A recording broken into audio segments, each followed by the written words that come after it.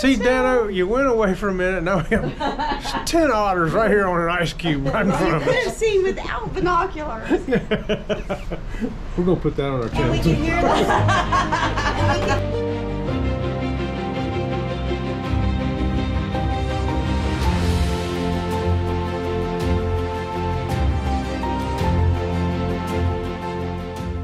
And the sun setting is making the mountains covered with snow look a little pinkish.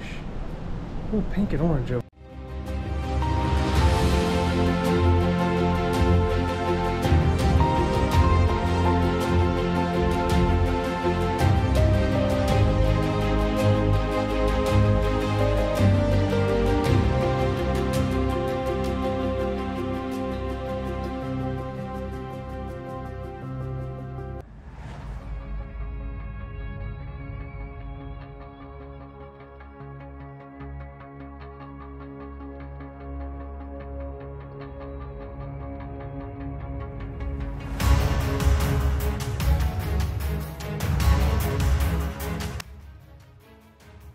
y'all. Look at that.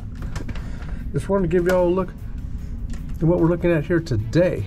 And this is actually the clearest it's been all day.